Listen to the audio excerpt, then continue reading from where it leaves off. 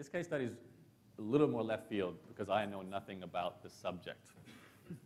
In this case, Liz actually knows something about the subject, so, Yes. um, which doesn't make sense. But Liz actually knows about miniature motorcycles for some reason. So, um, full-size ones. yeah, full-size ones too. But um, let me just, you can explain what they are in a second, but I'll just say how I got into this. So as a result of my buying this blog, I had this idea, and it's probably a similar idea to what all of you in here are thinking right now. It's like, I could buy a portfolio of websites, have them running automated, set them up like I've been setting them up, and I'd have this almost passive income stream coming in uh, on a regular basis. So I got a little bit more serious, long story short, and I started watching um, SitePoint, which is now called Flippa, and I looked for any websites that were coming in that matched certain criteria.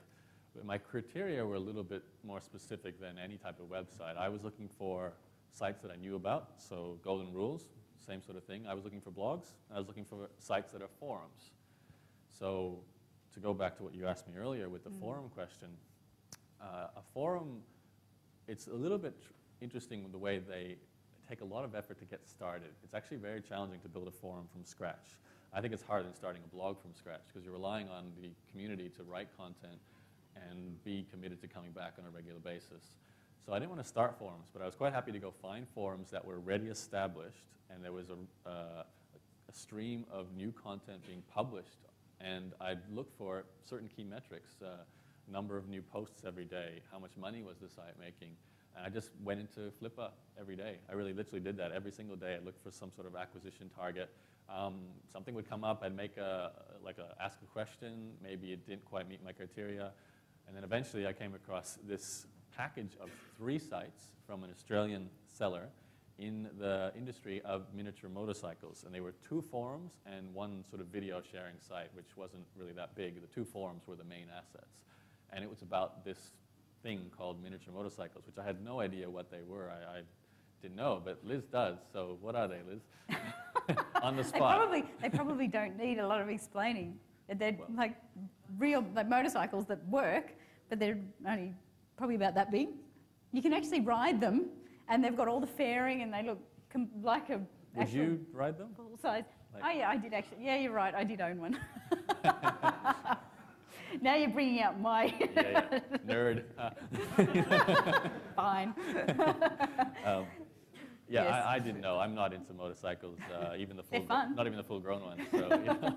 But apparently, yeah. What surprised me is they're real, as in they're not toys. No, no, yeah, They're- they're go like- fast. Yeah, you go on dirt bikes and things, but and they're not they're not just for kids, are they? no? Well, do I count as not a kid? Yeah, I guess so. yeah, so not just for kids. So anyway, I found these two forums, uh, miniriders.com.au and pocketbikeracing.com.au, and they're just um, really popular trading, well not trading, um, community sites based on miniature motorcycles. Uh, I'm, like I said, I didn't know. People talk about the parts and the, the different makes and the models and so forth, and every day these guys would come in there and talk, and they'd also eventually have to buy something. So there were there was interest in, I guess, the monetization side of things that a sponsor would want to reach these people, and that's how they were making money from Google AdSense, from advertising on the site, and an affiliate ebook, I think, was the other one, which was like how to maintain your um, miniature motorcycle, something like that. It was an ebook on ClickBank. So, and I bought this one for a little bit more. This was a 12,000 Australian dollar purchase. Uh, the site was making two, I think, know, was it one? I think it was $1,000 per month in income, hands off though.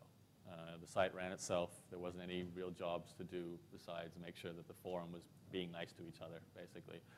So um, I figured, okay, so it's one year's worth of income from the site to buy it. Uh, I already had my own servers, so there wasn't going to be an increase in cost to run the site. It was purely looking after them. And I already had that manager from the small business branding blog. And I said to him, would you be interested in looking after this site for a share of some of the income as well? And I'm just going to give you some instructions on how to improve the site. You do the work, and we'll split the, the increase in profit. And that's exactly what we did. So I bought it, and we increased the income. In this case, by attracting more sponsors was definitely the number one way. Uh, we also tested a few other products from ClickBank.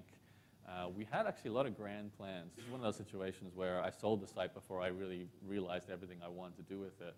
Things like adding a blog to it, adding an email newsletter to it, um, partnering with sites that had information products and doing JVs, um, going to more retailers and doing competitions, all kinds of things you can do.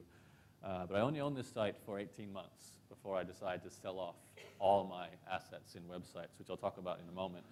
Um, in this case, I was able to sell it for about, I think it was $25,000 Australian in this case again, and that was um, about double the investment price. But I can't remember the exact number, but we grew the income somewhere from about $1,000 a month to between $1,500 and $2,000 a month consistently within about three months. Uh, and obviously, you know, after about four to five months, I paid off my initial investment cost of this website. And uh, when I sold it, it was 100% profit in that case. So it was, again, a nice sort of turnaround and um, very hands-off. For me, that's the most important thing. I, once we'd done the transfer, my manager was in charge of it. It was hands-off.